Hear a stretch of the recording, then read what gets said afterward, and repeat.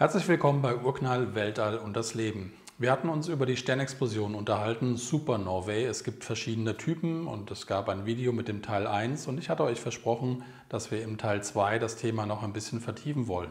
Das machen wir jetzt.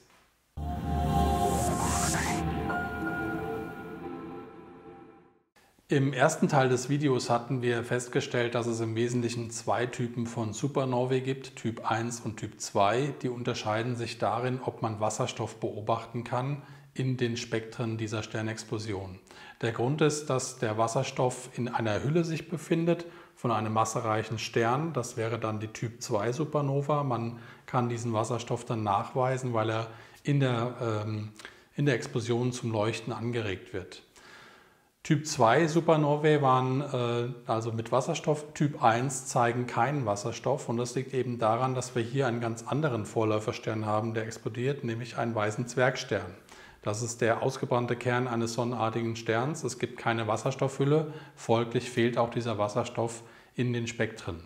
Das ist der grundsätzliche Unterschied zwischen diesen beiden Typen von der Beobachtung her. Wir haben aber auch festgestellt, dass es eine andere Bezeichnungsweise gibt, nämlich die Gravitationskollaps Supernovae. Das ist eher die theoretische äh, Sichtweise auf das Problem.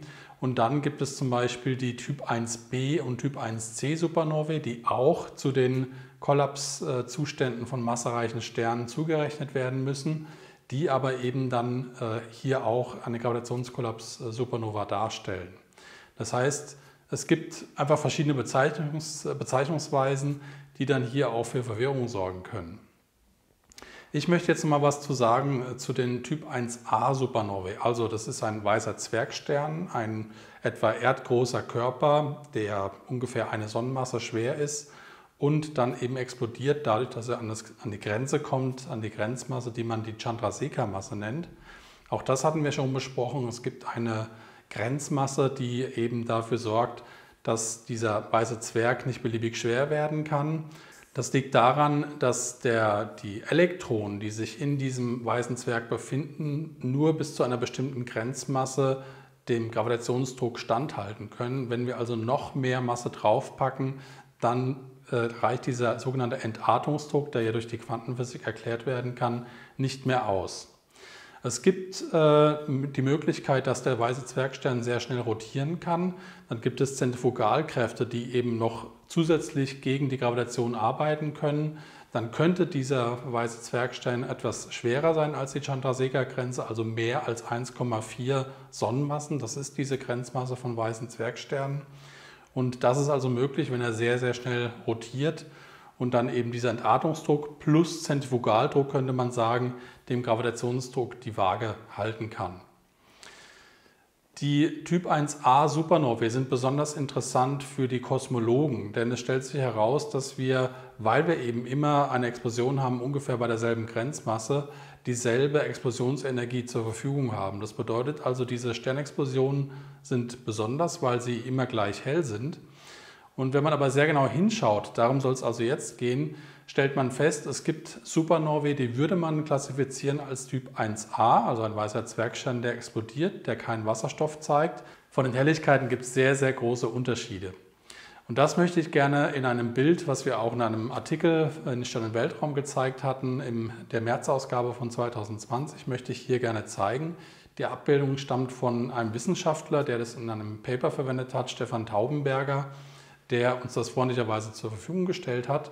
Und wir sehen hier im Prinzip die Maximalhelligkeit in der vertikalen Achse aufgetragen im blauen Bereich von der Supernova 1a gegenüber einer weiteren Helligkeit, äh, die hier aufgetragen wird äh, auf der waagerechten Achse. Helligkeiten werden immer in der Astronomie in Magnituden angegeben, also in Beobachtereinheiten. Dazu ist zu sagen, und da kamen ja auch einige Fragen von eurer Seite, äh, es gibt, wenn wir an den Himmel schauen, im Prinzip sechs verschiedene Schubladen, in die wir diese verschiedenen hellen Sterne einsortieren können. Die sechs Größenklassen. Und der Unterschied von einer Größenklasse zur anderen ist eben, dass wir hier einen logarithmischen äh, Unterschied haben, weil unsere Augen eben logarithmische Detektoren sind. Das heißt, es ist ein sehr großer Unterschied.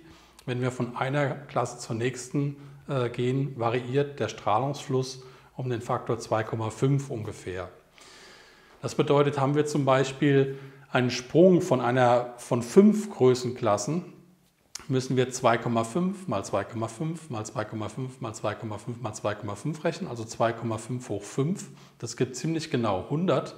Das bedeutet ein Unterschied von 5, äh, das bedeutet bei 5 Größenklassen Unterschied einen Faktor 100 Unterschied im Strahlungsfluss. Was ist der Unterschied von Helligkeit und Strahlungsfluss? Strahlungsfluss ist die äh, Anzahl der Lichtteilchen pro Zeit und pro Fläche. Und das ist sozusagen die physikalische Einheit und das, was wir mit dem bloßen Auge sehen, ist die Größenklasse, die man in Magnituden angibt. Die sechs Größenklassen, die wir am Himmel sehen können, äh, wenn ihr mal am Himmel geschaut habt und äh, natürlich jetzt mal Sonne und Mond müssen wir rausnehmen, die sind besonders hell, aber wenn wir die Sterne, die wir sehen können, am Himmel einsortieren wollen, dann ist zum Beispiel der Sirius besonders hell. Der hat eine Helligkeit von minus 1,4 Magnituden. Also wir haben hier sogar äh, die negative, den negativen Bereich äh, von den äh, Größenklassen. Und wenn wir ja, ansonsten die anderen Sterne anschauen, dann haben die also nullte Größe, erste Größe, zweite, dritte, vierte.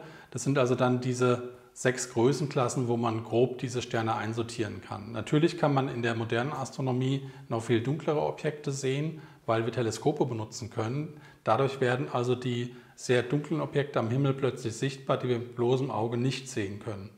Das äh, vergrößert also dann diese Skala, diese Helligkeitsskala in den Bereich jenseits der sechsten Größenklasse, die wir definieren können, hin zu eben ja, Größenklasse 30, 30. Klasse, das wäre dann mit Weltraumteleskopen zum Beispiel zu sehen. Und das ist natürlich einfach dann viel spannender noch, diese, diese sehr dunklen Objekte sich anzuschauen. Das war dann im Prinzip erst möglich, als man eben vor rund 400 Jahren die ersten Teleskope hatte, um dann auch den Himmel abzusuchen nach dunkleren Objekten. Das heißt, es ist historisch bedingt, dass wir sechs Größenklassen erstmal grundsätzlich haben, die dann in Magnituden, deren Helligkeit in Magnituden angegeben wird. Wir können das umrechnen, das können wir vielleicht mal in einem separaten Video konkret an Beispielen machen, in äh, physikalische Einheiten, also von den Beobachtereinheiten Magnituden, können wir das umrechnen in einen Strahlungsfluss, der natürlich von der Entfernung abhängt der Quelle. Je weiter die Quelle entfernt ist, umso dunkler wird sie. Deshalb unterscheiden wir ja auch in der Astronomie die scheinbare und die absolute Helligkeit. Die absolute Helligkeit ist sowas wie die Helligkeit vor Ort. Wenn ich also ein Parsec von dem Objekt entfernt bin, also 3,26 Lichtjahre, das ist auf diese Standardentfernung dann eben normiert. Und wenn wir einfach einen größeren Abstand zu der Quelle haben, dann wissen wir ja, verteilt sich ja das Licht auf einer größeren gedachten Kugeloberfläche und damit dünnt das Licht immer mehr aus. Je weiter wir weg sind, mit dem Abstand eben quadratisch. Das heißt, die Helligkeit nimmt quadratisch mit dem Abstand ab. Gut, also das ist der grundsätzliche Sachverhalt. Wir können das auch dann umrechnen. Also es ist in der Astronomie kein Problem, dann von Magnituden umzurechnen in äh, physikalische Einheiten. Man muss dann eben den Abstand auch der Quelle kennen, um dann zum Beispiel über das sogenannte Entfernungs- oder Distanzmodul die ähm, absolute Helligkeit zu ermitteln, wenn man die scheinbare Helligkeit, also die beobachtete Helligkeit am Himmel, mit der Entfernung zusammen dann über ein logarithmisches Gesetz in diese äh, absolute Helligkeit umrechnet. Vielleicht können wir einfach hier das mal kurz einblenden, die Gleichung dafür. Das wurde also von Poxen gefunden. Äh, diese Gleichung setzt also die absolute Helligkeit groß m mit der scheinbaren Helligkeit klein m und der Distanz r in Bezug. Und so können wir in der Astronomie eigentlich auch dann Entfernungen bestimmen. Das ist ja ein ganz großes Geschäft in der Astronomie. Wenn wir nämlich irgendwie zum Beispiel eine Möglichkeit haben, auf die absolute Helligkeit der Quelle in irgendeiner Form zu kommen, zum Beispiel über physikalische Gesetzmäßigkeiten. Da ist ein bekanntes Beispiel, was auch schon öfters in unseren Videos erwähnt wurde, die Cepheiden-Sterne, veränderliche Sterne, die nämlich ihre Größe verändern können. Also wir haben eine leuchtende Gaskugel und je größer die Kugel ist, umso größer ist die leuchtende Oberfläche. Das heißt, die absolute Helligkeit wird auch dann zunehmen von dem Stern. Absolute Helligkeit könnte man auch sagen wie Leuchtkraft. Die hängen natürlich beide miteinander zusammen. Leuchtkraft L und absolute äh, Helligkeit groß M hängen miteinander zusammen. Und das Witzige bei den Cepheiden ist eben, dass die sozusagen pulsieren. Das heißt, diese Periode, mit der sie pulsieren, größer und kleiner werden, die hängt zusammen mit der absoluten Helligkeit. Und deshalb kann man aus der wiederum beobachteten Periode des Cephiden schließen auf die absolute Helligkeit. Das heißt, das Schöne bei den Cepheidensternen ist, wir können die scheinbare Helligkeit klein m direkt beobachten, astronomisch von dem jeweiligen Stern. Auf die absolute können wir schließen über diese Perioden-Leuchtkraftbeziehung, die also die absolute Helligkeit in Bezug setzt mit der wiederum beobachtbaren Periode. Das heißt, wir haben Groß-M und Klein-M, können aus einer Gleichung, die jetzt eben hier Entfernungsmodul heißt, so auf die Entfernung schließen von dem Objekt. Deshalb werden die Cepheiden seit eben über 100 Jahren auch benutzt, um damit Entfernungen zu bestimmen. Das Schöne ist eben, man kann auch sehr weite Entfernungen dann äh, messen, zum Beispiel auch extra, extragalaktische Entfernungen, also zum Beispiel äh, in anderen Galaxien wie der Andromeda-Galaxie. Das hat der Edwin Hubble zum Beispiel auch gemacht und das auch genutzt, um dann damit die Entfernungen zu diesem Nebel, damals noch genannten Objekt, zu bestimmen. Das heißt, was man eigentlich machen möchte, ist, äh, auch um wieder auf die Supernovae zurückzukommen, wie kann man jetzt damit äh, Kosmologie betreiben? Die äh, Helligkeit, die absolute Helligkeit von dieser Supernova Typ 1a ist also im Wesentlichen, das ist die Annahme, immer gleich. Beobachten kann ich die scheinbare Helligkeit und deshalb kann ich aus beiden zusammen auch wieder hier auf die Entfernung schließen. Dass dieses Geschäft nicht so einfach ist, möchte ich jetzt in der weiteren Abbildung zeigen, die wir also in Stern- und Weltraum gezeigt haben. Das ist hier diese Abbildung, die die äh, Helligkeit im Bereich der blauen, des blauen Filters, also die Blauhelligkeit einer Supernova 1a, gemessen in Magnituden, also in Beobachtereinheiten, in Beziehung setzt zu dem Abfall dieser Helligkeit der Supernova in den ersten 15 Tagen. Und zwar hat man es eben Anfang der 90er Jahre herausgefunden, dass es da einen Zusammenhang gibt, den man die Phillips-Relation äh, nennt. Dieser Zusammenhang wurde schon früher äh, gefunden. Psokowski hatte da schon in den 1970er Jahren dann die Vermutung geäußert und Mark Phillips, ein US-Astronom, hat es in den 90er Jahren dann mit, einem, mit einer größeren Menge von Daten, mit mehreren Supernova-Explosionen dann genauer analysiert und in der Abbildung sehen wir jetzt also hier eine dicke schwarze Linie, die im Prinzip diese Phillips-Relation markiert. Was sagt die uns? Sie sagt uns, dass wir hier eine Relation haben zwischen der Maximalhelligkeit im blauen Bereich von dieser Supernova und ihrem Abfall in den ersten 15 Tagen. Diese Relation besagt vereinfacht, je heller diese Supernova vom Typ 1a im Blaubereich ist, umso langsamer fällt sie dann auch in den ersten 15 Tagen in ihrer Helligkeit ab. Denn auf der waagerechten Linie dieses Diagramms ist ja auch wieder eine Helligkeit in Magnituden angegeben, nämlich der Helligkeitsabfall in 15 Tagen. Das wird dann immer als diese, diese Größe auf der waagerechten Achse wird Delta M 15b genannt. Damit ist einfach gemeint der Unterschied der Helligkeitsabfall nach 15 Tagen B für im blauen Filter, im Blaubereich der Strahlung. Diese Abbildung zeigt aber auch, dass das Geschäft der Supernovae nicht so einfach ist, wie man das glaubt. Es gibt also viele andere Typ 1a als Typ 1a klassifizierte Supernovae, die in diesem Diagramm aber nicht entlang dieser schönen dicken schwarzen Linie sich dann gruppieren, sondern auch komplett woanders liegen. Das heißt, sie widersprechen offenbar dieser Phillips-Relation. Und da hat man jetzt in den letzten Jahren herausgefunden, woran das liegt. Es gibt also ganz andere Typen von äh, Supernovae und auf die möchte ich jetzt im Folgenden nochmal kurz eingehen. Also ich will vielleicht mal zwei Gruppierungen herausgreifen, die wir in dem Diagramm sehen. Also oberhalb von der schwarzen durchgezogenen Linie gibt es da die Supernovae Typ 1a vom, genauer gesagt, vom Typ 91T. Äh, der Name geht einfach zurück auf den Prototypen dieser Supernovae, den man im Jahr 1991 beobachtet hat. Und dann werden ja auch, so ähnlich wie bei den veränderlichen Sternen, die Supernovae mit einem angehängten Buchstaben noch weiter klassifiziert, je nachdem, wann die in dem Jahr beobachtet wurden. Die bekommen auch unter Umständen dann zwei Buchstaben hinten dran, großgeschrieben, kleingeschrieben. Also da sollte man sich nicht einfach verwirren lassen. Das sieht nur verwirrend aus, aber ist eigentlich nur eine, ein Katalogname. Also 91T. Die befinden sich oberhalb der durchgezogenen Linie, sind also etwas heller, als man das erwarten würde von einer Supernova Typ 1a. Der Grund ist offenbar, dass wir hier eine viel größere Menge haben an Nickel, was zur Verfügung steht. Wir erinnern uns, bei einer Supernova vom Typ, eine, äh, vom, bei einer Supernova vom Typ 1a haben wir ja eine ähm, Verbrennung von Kohlenstoff und Stickstoff im Inneren dieses weißen Zwergsterns, was dann explosionsartig verbrennt zu Nickel. Und das Nickel wiederum, was dann zur Verfügung steht, zerfällt radioaktiv und speist im Prinzip dann durch diesen radioaktiven Zerfall, durch die frei werdende Energie diese Supernova-Helligkeit. Das heißt, je mehr Nickel ich zur Verfügung habe, umso heller ist auch die Supernova vom Typ 1a. Offenbar ist es bei den äh, Typ 91T also der Fall, dass wir viel mehr Nickel zur Verfügung haben und deshalb sind die auch viel heller.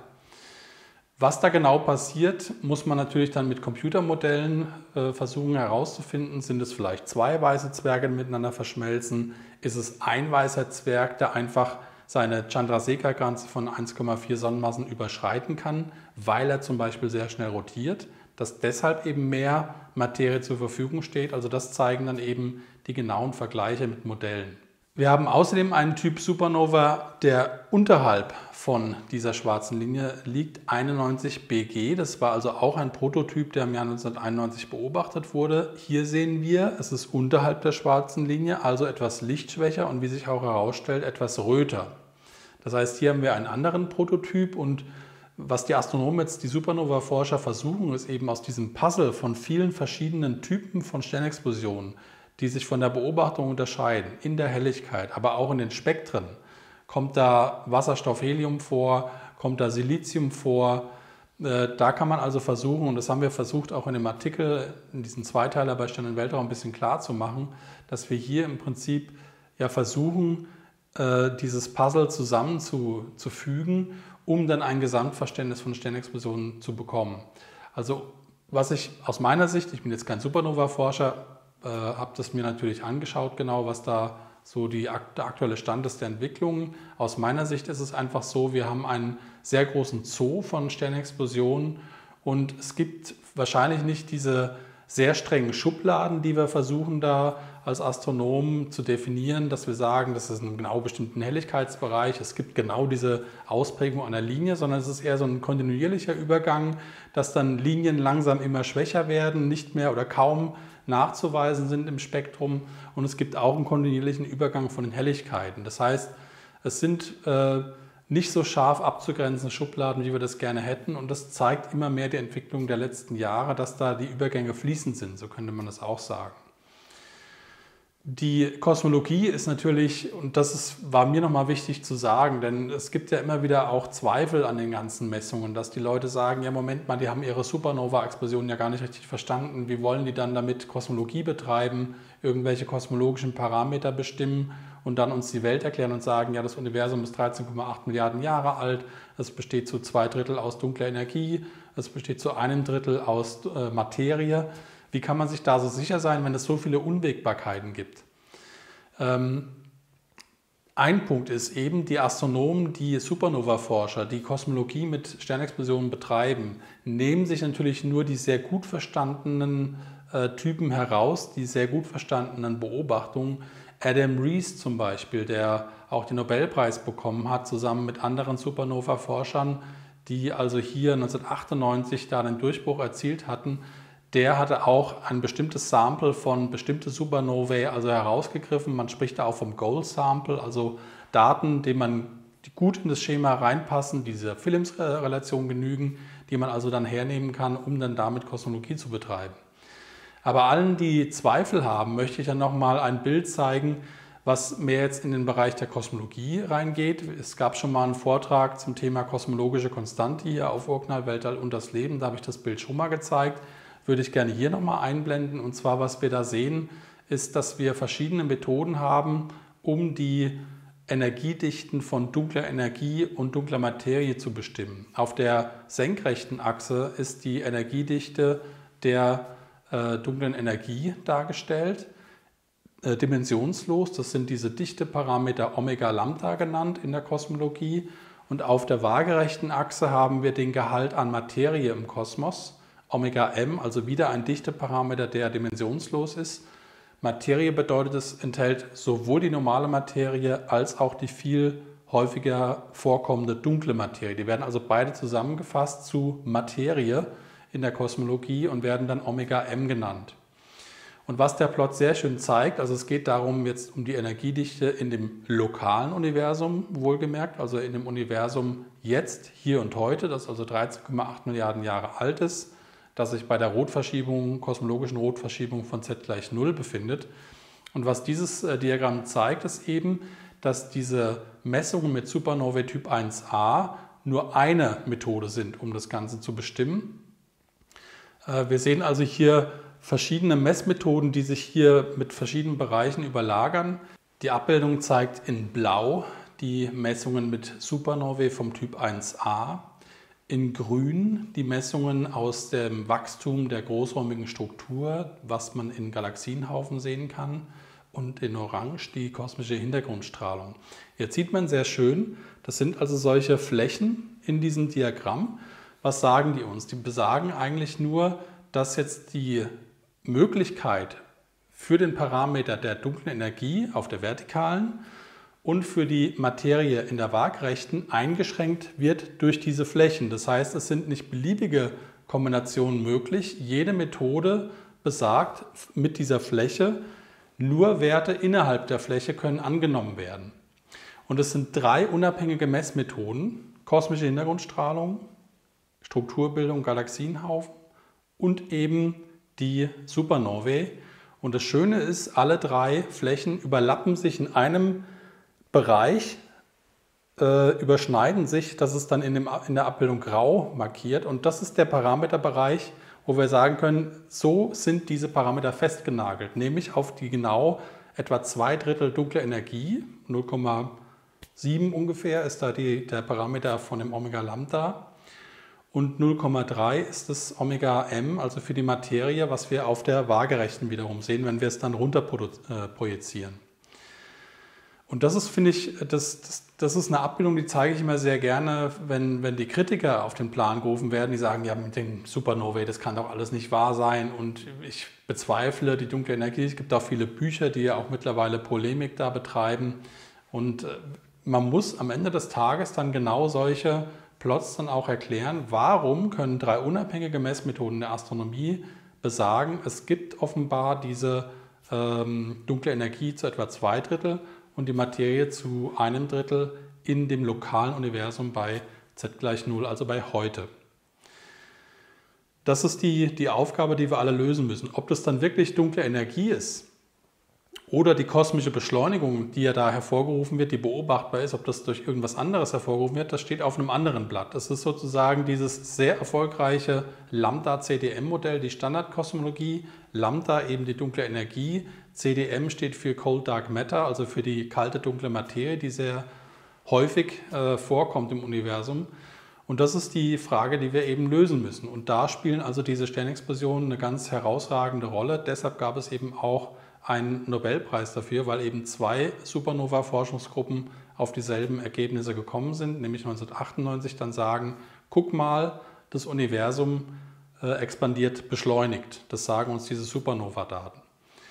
Und das Schöne ist eben, die anderen Methoden, die stoßen sozusagen in das gleiche Horn. Das ist die Frage, die wir also lösen müssen. Und äh, was ich so spannend finde, einfach wissenschaftshistorisch, kam dann eben Ende der 90er Jahre wieder diese kosmologische Konstante ins Spiel, die Albert Einstein ja 1917 eingeführt hatte. Das heißt, es war dann unmittelbar klar, dass diese, das kosmologische Standardmodell mit Materie und Strahlung alleine nicht erklärt werden kann. Wir brauchen diese rätselhafte äh, Form von Antigravitation, also dunkle Energie offenbar, die das also ganz gut erklärt, dass also das Universum in der späten Phase seiner Entwicklung beschleunigt expandiert und immer größer wird. Das ist am Anfang des Universums nicht der Fall, erst am Ende, ungefähr in den letzten äh, sieben Milliarden Jahren. Und das ist also ein sehr äh, spannendes Gebiet. Da spielen also die Supernovae eine ganz wichtige Rolle, aber eben nicht alle äh, Sternexplosionen, sondern eben nur Typ 1a. Und wie wir gesehen haben, nicht alle von Typ 1a, sondern nur diejenigen, die halt dieser Phillips-Relation genügen und die sehr gut eben benutzt werden können, um das Ganze zu, zu eichen und zu verstehen. Wenn ihr Fragen habt zum Thema Supernovae, es gibt natürlich noch viele Details, die wir besprechen können. Schaut auch vielleicht nochmal in den Artikel rein. Das waren also März- und April-Ausgaben von Stern und Weltraum. Wenn ihr Fragen habt, sehr gerne. Wir haben da auch Zugriff auf die Experten, die dann weiterhelfen können. Also es ist ein sehr spannendes Thema. Äh, die Forschung geht jetzt auch am Computer immer weiter, da immer mehr Physik zu berücksichtigen. Auch das ist natürlich unheimlich schwierig. Das haben wir versucht dann in dem April-F ein bisschen darzustellen äh, dass die, die Physik natürlich sehr komplex ist. Wir haben Relativitätstheorie, wir haben Strahlungseffekte, wir haben Neutrinos, die unheimlich wichtig sind, die kühlen sozusagen diese Sternexplosion und sorgen dafür, dass überhaupt die Explosion stattfindet. Das heißt, es gibt sehr viel, sehr viel komplexe Physik, die man da berücksichtigen kann. Äh, da ist man auch lange nicht am Ende. Man braucht wirklich den Computer, um sowas zu simulieren. Und da gibt es also sehr äh, interessante Resultate, die wir auch natürlich gerne hier weiter besprechen werden und wir bleiben natürlich sowieso bei dem Thema am Ball. Wenn es euch gefallen hat, gerne ein Like da lassen, noch besser ein Abo und wenn ihr Fragen habt, sehr gerne hier in dem Videobereich direkt im Kommentarbereich.